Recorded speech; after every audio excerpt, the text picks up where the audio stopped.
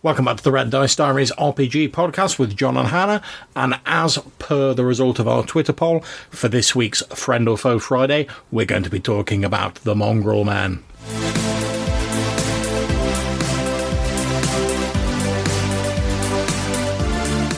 So, as I said before the intro, today we're looking at the Mongrel Man, which first appears in the official Advanced Dungeons and Dragons First Edition Monster Manual 2 by Gary Gygax.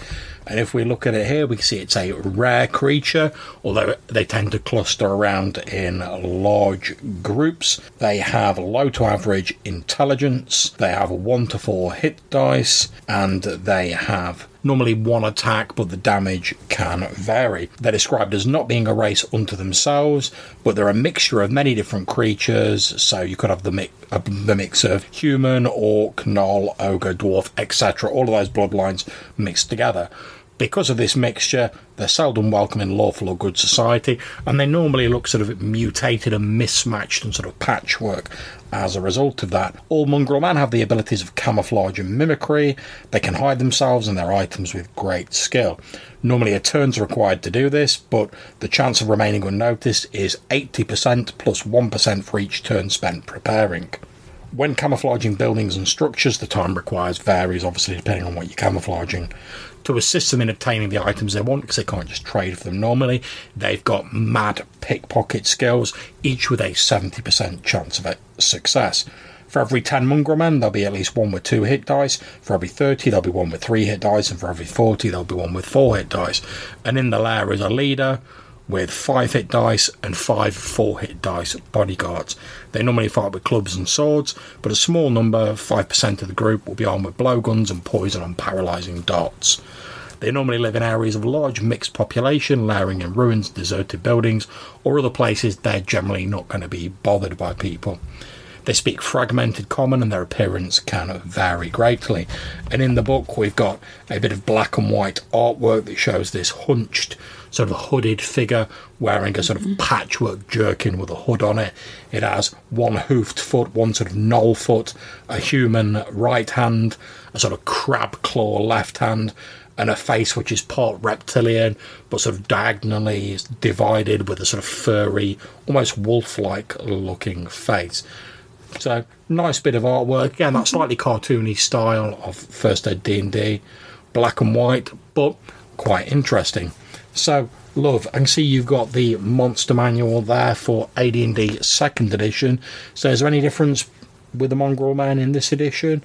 Well, the artwork is very similar. We've got this guy with like one uh, paw, one hoof, one hand, one claw, half reptile face, half beast face. Yeah, although obviously the art's colour in the, the monster manual, mm-hmm. and it's definitely a lot more striking, especially with this mishmash of parts. Although I see they've done away with the crab claw arm, which is a shame. I quite like them. Again, we've got this description of them being like a mixture of many species. Yeah. Um, talking about them having skills in mimicry, pickpocketing, camouflage, normally fight with clubs, but 5% of the members of the group encountered are armed with blowguns and poison or paralysing darts. Yep, so same as the um, Monster Manual 2 for first day. Mm-hmm. And then um, bit in their like society. Yeah. Talks about how they pride themselves on the ability to survive and they consider the title the survivor to be much more esteemed than the great. Oh, that's interesting. Um, I suppose, to be honest, if you look like that and you're hated by all these races because they can see a mixture of their foes in you, then yeah, just being able to survive day to day would be quite an achievement. It talks about how they have different types of society based on whether they're like enslaved mongrel men or free mongrel men. Yeah. Um, that the free ones are uh, not violent except for self defence. They raise game, grow fruit and veg, have a long tradition of art, music, and literature, whereas the enslaved ones are uh, quite happy to kill on the orders of their master. Um, but both types prefer not to have contact with other creatures. Okay. So after the AD&D Monster Manual, Yeah. they appear in third edition in the Fiend Folio. That's not the Fiend Folio from first edition. That's the third edition book, which doesn't really share any sort of like common lineage. It's just the name they used. But I can see they've relabeled them as mongrel folk in this, and they look a bit more sort of goblinoid from the. Uh, Yeah, see, they seem to have like lost their distinctive sort of Frankensteiny look. Yeah. They've not like got different distinct elements of different creatures. It's just a pink goblin. I can see it says there in the first paragraph that they're descended from generations of like crossbreeding amongst the worst examples of many species. So they've still sort of kept that idea they're a mixture of different bloodlines, but like I say, the artwork's just some dingy brown, sort of ugly looking goblinoid with a shield and what looks to be a club. Mm-hmm. So does it say anything else? Say anything else interesting about them? Uh, speak common and their own pidgin language. Okay. Um, excellent mimics. Bonuses on camouflage. Again, third ed that's represented more in skills than powers. Yeah, I presume they've got like disguise skill and sort of stealth and stuff Yeah, like that. uh, although they have also got the emulate race power. What does that let them do? Um, basically, it means they can use magic items that only work for, for example, elves. Right. They've got some elf blood, they can use it. Oh, that's but they pretty can cool. also use the dwarf item and the orc item. Um, Now, is that only if that particular mongrel man's got like that sort of bloodline in him, or is it just they can emulate any race? Does it say? it says automatically emulate emulate any humanoid race with no need for a skill check. Also, even if you've not got dwarf blood, you could still like use that skill to be like, oh, I'm going to use this dwarf only like magical hammer or whatever. That's a pretty useful feature, especially if you've got a large group of them. You know, if you can get your hands on some magic items, chances are, whatever it is, you're probably going to be able to use it. Um, and then we've got the obligatory third edition note about them as player characters. Favourite class is rogue. Makes sense, you know, with the disguise and pickpocketing and stuff. Spellcasters, uh, adepts, um, very occasionally clerics. Yeah, and I believe Adept's like the sort of NPC, like lower powered class version of like a sort of shaman or something like that, if I remember correctly. And there's a very long, complicated way of saying that being a mongrel man doesn't affect your character level. Okay, so the next appearance we have from them is in 5th edition, and they appeared in the adventure The Curse of Strahd. And they've undergone a little bit of a change in here, possibly to move away from the whole idea of like interbreeding and mixed bloodlines.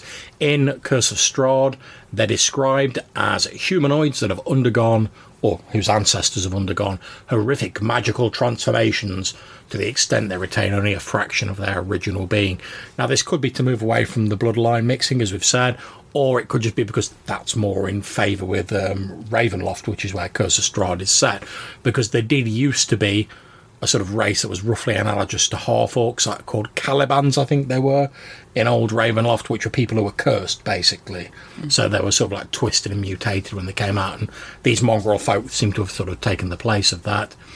They still have the sound mimicry. It describes them as having misshapen mouths and vocal cords. They can imitate sounds made by beasts and humanoids that they've heard. They're not sophisticated to u- enough to use these sounds as a convert form of communication, but they can lure enemies into a trap and like distract them and stuff like that. They're described as being outcast. They're not welcome in sort of civilized society in inverted commas. However, they are camouflage experts, being able to hide themselves away.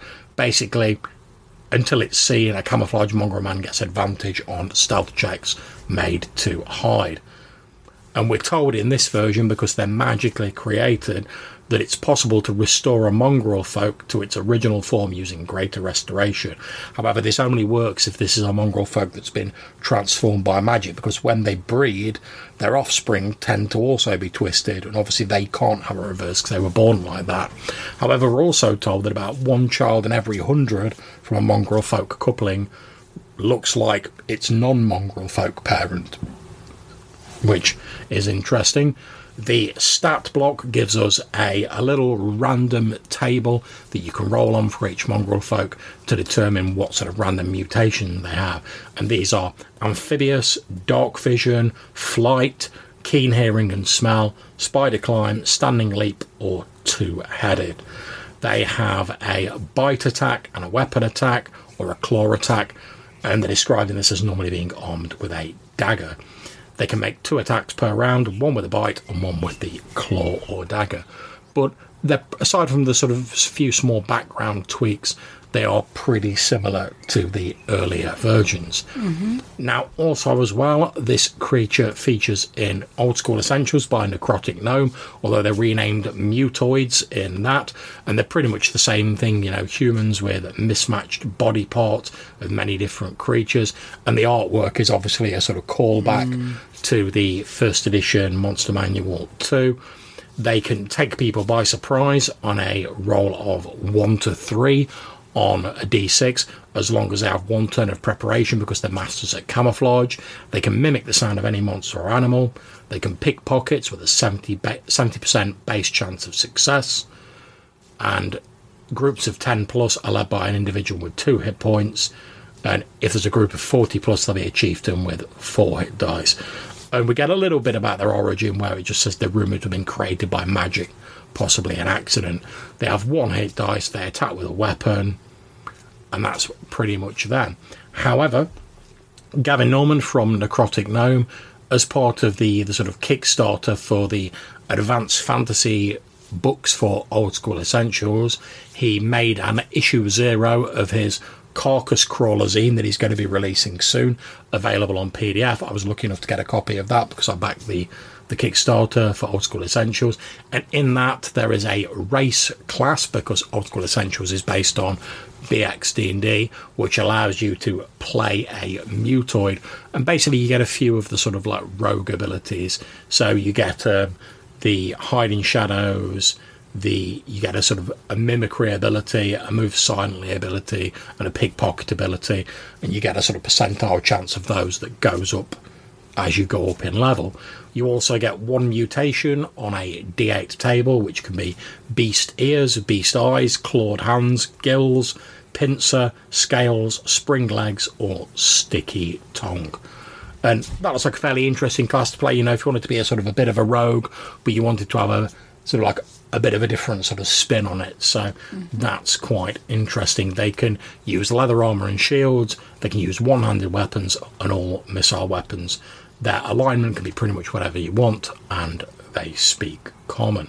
So I think that's pretty much it in terms of stats. So what do we think about potentially using mongrel folk in games? I, I kind of think there's a big fat elephant in the room, and we kind of need to talk about it before we go on. Go, go on then. So, obviously, the earlier iterations of this have got some very racist undertones about like mixing bloodlines and creating monsters. And that's really not a cool idea to be pushing in your game. So, if you want to use them, maybe come up with some like other origin for them. Well, I think well that's what they've tried to do in later editions, and certainly even in Old School Essentials, it suggests that they're a result of like magical meldings rather than just like crossbreeding. but um, Just, just sort of had to point that out. as you've said, I mean, personally, I, don't have a problem with if you want to use the the original version in your game. It's down to whatever works for your group. I mean, you know your groups better than we do, but uh, I think certainly in the modern times we're aware that sort of like interbreeding It- it like that doesn't doesn't, work anymore. like yeah it doesn't really work like that but there's certainly no shortage of like magic and reasons you can come up with for Yeah, th this for idea of it. like taking several creatures and mashing them together yeah is something that's been around for like ever. You know, yeah various different chimeric type things. This is basically just a humanoid chimera that's asymmetrical. Well, I mean, look at look at Saruman breeding like the Uruk-hai in Lord of the Rings. But um, I, can actually talk about using these in games because I've actually used these in my old school Essentials game using the Mutoid version that we've just discussed. Mm-hmm. And in my old school Essential game, which is set in a sort of semi Arctic environment, they were the remains of one of these ice walker tribes, like human nomads who lived on the ice floes. And they were basically betrayed into the hands of an evil warlock called Takrit, who sort of bound them to his service in an attempt to improve them to make them stronger since the, the sort of ice walkers are pretty much like the, the sort of halflings of my setting. He basically enchanted them and tried to make them stronger and better but because obviously these magics never tend to work as you'd envisioned them it did make them stronger and sort of better in terms of raw combat troops and did bind them to his will but it also twisted them sort of monstrously and made them into these mutoids. Uh, in my game, they had like they effectively had like a mark on them that sort of bound them to Takrit's will. However, when the player characters killed Takrit, that mark sort of disappeared, and they all regained their intelligence, if not their appearance, because that couldn't be undone. And then they were just like any other sort of normal folk that could be dealt with, and the players were able to sort of form a peace between them and these frost dwarves who they were fighting against because it was only due to Takrit wanted to take the dwarf stuff that he was like forcing his troops to like fight against them using his magical control over them. So that was how I sort of did it, using magic to express why the mm-hmm. transformation had occurred, but also giving the players chance to see that underneath that magical control, they actually had their own minds and they were just as intelligent as anyone else. And when they broke that control, they were then people they could deal with and now they've freed them, this mutoid race class has now become available in my game. So if they wanted to, when they need to gen a new character, they could actually play part of this tribe that they freed. And I thought that was a nice way to get them into the game without, like you say, the sort of stereotypical, like, oh, a load of different races got jiggy with it and made a mongrel man. Yeah. Um, I suppose it's the sort of many different creatures element that makes them unique. They've not. Yeah. They're not like the creatures in Dagon that have all got elements. Of, Dagon! they've all got elements of fishmen to them. Yeah, the sort of half transformed deep ones. Yeah, y these are a big mix up of whatever, and th- yeah, I mean, I've got to admit, they before you even said that, they do remind me of the sort of the Deep One hybrids from like Lovecraft mm-hmm. because you've got these humans who are sort of partly transformed into Deep Ones, but not really. So they've still got enough of their humanity, and it's that uncanny valley thing, isn't it? You know, where you see Yeah. something that looks. 80 to 90% human, mm-hmm. but it's just a little bit off, and your brain sort of registers that as more scary than something that's completely non human.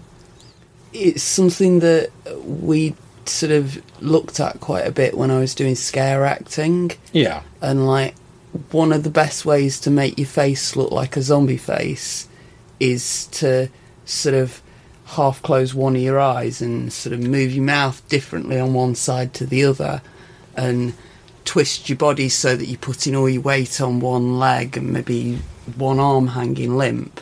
And because it's all asymmetrical it creates that creepy effect Yes. Yeah. Exactly. and yeah and, and obviously we've, we've got the fact that these these mutoids, these mongrel folk, they are sort of this asymmetrical mishmash of mm-hmm. different parts, crab claws, wolf heads, stuff like that. So I think the advantage that has in just in terms of raw like using them in games is that they can pretty much be what you need them to be to fill a particular niche. So you need a you need a mongrel man to like pursue the party. It's easy enough to go, oh, he's got wolf legs, he can run really fast. You need one who's like a bit of a bruiser to go into combat. Oh, he's got like an armored carapace and he's got the big claws. So, because obviously, as a GM, when you're using them as monsters, you're not really restricted to just the mutations on these little random tables. Mm-hmm. So, if you want to have a mongrel man who's like got two claws, or maybe he's got like an extra long neck or something like that, you can easily do that. So, there, in terms of when you're running a combat, we, we've talked before, it's often quite difficult to sort of come up with ways to keep combats fresh and make them interesting. One of the great things about mongrel folk is you can always throw a few in with sort of like different bizarre mutations that give them odd effects or like additional damage, or they can move really quickly, or they can attack from range with a long neck or whatever, just to like twist up the combat a bit and like make it a bit more interesting. So I think they're really good for that. But they'd also be interesting to look at as a sympathetic NPC group. Yeah. Because obviously they've got all this stuff about them being a marginalised group already, about them being pushed to the edges of society, being forced to steal whatever. Yeah, I mean that, that's one of the ways I tried to use them in my game because before they'd killed the warlock, they had one of these mutants. They were fighting in combat, and the, this magical mark on them one of the player characters sort of described his um, cut as he attacked it. He actually like cut through the mark and like broke the connection, and this mutoid was suddenly free of this control. And as he sort of collapsed on this guy, pretending that he was really injured, he was like, "Oh, God, get me away from here! Like, help me out!" And they were like, "All right, I don't know what's going on, but like he seems to be like not hostile anymore. All right, let's take him away." And this NPC explained they found out about the fact, oh, these these are these aren't bad people, these aren't monsters. They're just being compelled. They're effectively victims mm-hmm. of this horrendous warlock. And you know, once they're freed of his control, that they're quite helpful. They've got the same wants, drives, and desires as any other people. And this M- this NPC unfortunately got killed later on in like a fight, but the player characters were getting quite fond of him because they not only was he a helpful NPC who'd help him in a fight because he was grateful to them for freeing him, but also they were invested in him because they'd helped free him from this thing. And it led them into thinking, oh, maybe we can free the others, you know. And that's one of the things that led them to killing the warlock. And then instead of going like, oh, yeah, but we've still got these mutants, we're going to have to get out the swords and like mop them up, they were like, all right, well, the control's probably broken now. Is there a way we can deal with this without just killing them all? So that led to the friar of our group, played by um, Arfed, starting uh, to like organise like a peace treaty between them and getting them all to sit down at the table and like because of his rolls he didn't manage to like get them to become like bosom buddies or anything like that. But they at least agreed like look we're both on this island. Now the warlock's gone we don't really have any beef with each other. Let's just say you guys will stay over there we'll stay over here we'll not mess with each other and then who knows maybe in a few years time once we've tested that out, if it works, maybe there can be a closer alliance and maybe even a friendship. And I really like that because it was a lot more satisfying for me. They got a bit of combat fighting the warlocks and the troops when they were being controlled. They got to help some NPCs, the Frost mm-hmm. Fight against them. But it didn't end with like a huge combat. It ended with the aftermath of the combat, with them going, let's sit down around the table and like try and work out how we can make peace between these two groups. And I really like that because it's not something that happens in a lot of sessions. So yes, yeah, so I think what I think what we're trying to say is um, obviously if you want to use them as straight combat fodder, you can do. They're quite interesting and they're good for that. Mm-hmm. However, if you do want to delve a little bit more into their background and try and sort of show these sort of like these outcasts potentially created by magic, you can certainly do that. And there's a lot more you can get out of this race than a simple combat fodder. Mm-hmm. But it all depends on how much of a part of your game you really want to make them and how much effort you want to put into expanding their origins because the books don't really give you a lot. They're basically like a wizard did it and you pretty much have to make up the rest yourself. But that's not a bad thing because if you're willing to do that, potentially you can drop them into an awful lot of places in your campaign. You want some shock troops made by the evil wizards instead of using orcs. How about you use a mongrel man that he's created? Maybe this villainous um, wizard is capturing like the locals and he's transforming them. That's a good way to get PCs to insta hate to your villain. He's taking innocent people, he's making them into these mongrel folk. And then even if you kill the wizard, they're probably not going to go back to normal. What do you do with these mongrel folk? They're not going to be accepted by most civilized places, as it says in all the books. So, do the players help them make their own community? What do they do? I mean, that could be interesting, but is that somewhere you want to go with your game? Entirely down to you and your group. They could be quite interesting as player characters as well. Yeah. If you if you enough of a masochist to want to play a character that's part of a group that's like going to cause raised eyebrows at the very least. Yeah. Every time you go to a new place, going to have to prove himself every time you go to a new place. I mean, I think I think there is a sort of a market, for want of a better term, for those sort of outsider characters. I mean, sort of back in the day, it always used to be um, so always someone wanted to play a half orc or a half ogre or something like that. Uh, as far as I'm concerned, it was always the good drow. Yeah, that, that's a that that's a thing as well. Thankfully, Yeah. not quite as much now. But um, as more and more people were like, "Oh, we want to play half orcs," half orcs have just become like a normal race now. There's no like real shock value to them. So, apart from their background, which is a bit dodgy, but that's another that's another episode.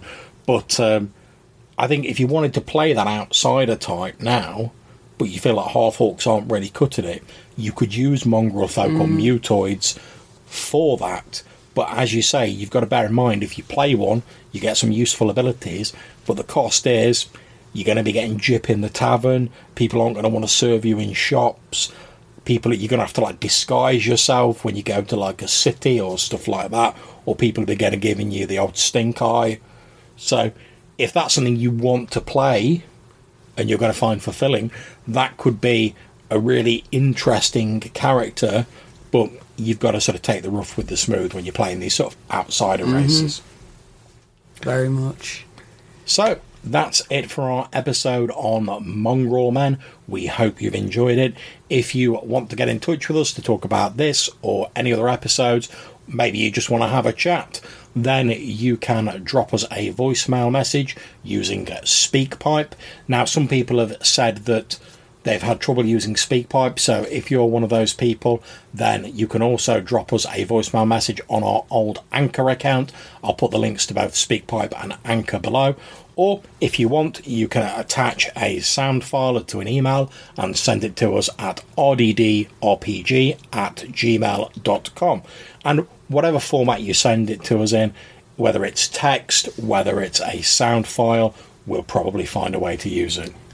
Also, since we've started uploading the podcast to YouTube, feel free to leave us comments on YouTube. We'll see them there. Yeah, currently, as of the time of recording, we've got six episodes from the first series uploaded, so last year's. I'm currently converting them, and I'm just about up to date with all the ones I've converted and saved on my computer, and I'm going to be steadily uploading them over the next few weeks. So, as episodes go up, feel free to comment on those, and we'll do our best to respond. So, thank you very much for listening. We hope you've enjoyed that episode. Take care of yourselves, and whatever you're playing, have fun. Bye.